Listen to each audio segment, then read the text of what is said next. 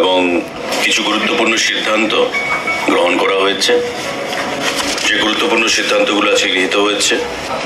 Proposal for filling up of five hundred নং constable of Tripura police আজকে আমাদের সিদ্ধান্ত হয়েছে পাঁচশো কনস্টেবল রিক্রুট করা হবে। তৎসঙ্গে নির্বাচনের আগে একটা সিদ্ধান্ত হয়েছিল যে পাঁচশো কনস্টেবল আরও নেওয়া হবে। অর্থাৎ এক হাজার কনস্টেবল পুলিশ ডিপার্টমেন্টে রিক্রুটমেন্ট হবে এবং তার নোটিফিকেশন আগামী জুলাই মাসের দ্বিতীয় সপ্তাহের মধ্যে আশা করা হচ্ছে আজকের মিটিংয়ে যে সিদ্ধান্ত হয়েছে, তার নোটিফিকেশন বেরোবে আমরা চাইছি যে যত শীঘ্র, যত তাড়াতাড়ি এই রিক্রুটমেন্ট প্রসেসটা সম্পন্ন করা যায়।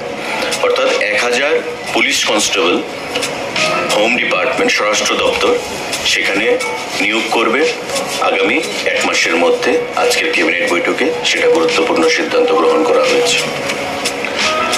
আমাদের লোক নিয়োগের ক্ষেত্রে আজকে আপনারা দেখবেন যে পুলিশ, ক্রীড়া দপ্তর, ইন্ডাস্ট্রি অ্যান্ড কমার্স, এআইডিডি দপ্তর, লেবার ডিপার্টমেন্ট দপ্তরে অনেক শূন্যপদ পূরণের সিদ্ধান্ত গ্রহণ করা হয়েছে এবং আগামী কিছুদিনের মধ্যেই দপ্তরকে নির্দেশ দেওয়া হয়েছে, অফিসারদেরকে নির্দেশ দেওয়া হয়েছে যে আগামী কিছুদিনের মধ্যেই অবশ্যই যেন নোটিফিকেশন জারি করে এই নিয়োগের যে প্রসেস সেটাকে সম্পন্ন করতে। এবং আমরা একটা লক্ষ্যমাত্রা ধার্য রেখেছি যে আগামী অগাস্ট মাসের মধ্যে এই প্রসেসটাকে সম্পূর্ণভাবে কমপ্লিট করার জন্য।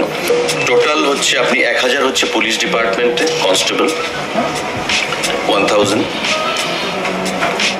একশো আমাদের ইউথ অ্যাফেয়ার্স অ্যান্ড স্পোর্টস ডিপার্টমেন্টে এটা হচ্ছে ফিলিং আপ মানে ডাইরেক্ট রিক্রুটমেন্ট একশো হচ্ছে junior PI youth affairs and sports department আমাদের টোয়েন্টি টু হচ্ছে ইন্ডাস্ট্রিজ অ্যান্ড কমার্স আমাদের one seventy nine ARDD department animal resource development department আমাদের কৃষি দপ্তরে sixty as agriculture officer twenty five ICDS মানে supervisor under social welfare and social education department এগুলো হচ্ছে filling up মানে recruitment হয়ে যাবে। তবে একটা ভারী মাত্রায় রিক্রুটমেন্ট আজকে সংবাদ রাজ্যের বেকার যুবক যুবতীদের জন্য আমরা ঘোষণা করলাম, রাজ্য সরকারের গৃহীত সিদ্ধান্ত অনুযায়ী প্রত্যেক প্রক্রিয়া আপনি যে কোনো দপ্তরের রিক্রুটমেন্টের যে সিদ্ধান্তগুলো নেওয়া হয়েছে, প্রত্যেকটা প্রক্রিয়াকে বলা হয়েছে। আগামী দশ থেকে পনেরো দিনের মধ্যে নোটিফিকেশন জারি করে ওই দপ্তরকে তার নেক্সট মাসের মধ্যে যেন টোটাল প্রক্রিয়াটাকে ফিনিশ করা যায়।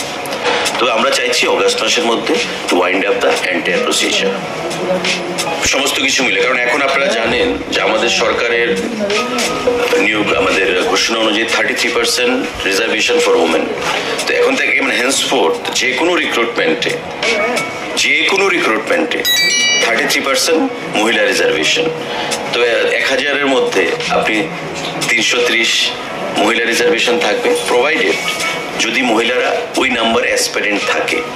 এখন যদি মহিলারা যদি ওই নাম্বার অ্যাসপারেন্ট না থাকে, তবে ভ্যাকেন্সি রাখা হবে না, পুরুষদেরকে দিয়ে সেটাকে ফিল আপ করা হবে। আমাদের প্রয়াস থাকবে টোটাল নিয়োগ সহ। অগাস্ট আপনি সেপ্টেম্বরের মাঝামাঝি হতে পারে, সেপ্টেম্বর হতে পারে but our effort our endeavour would be to wind up the entire process by the end of August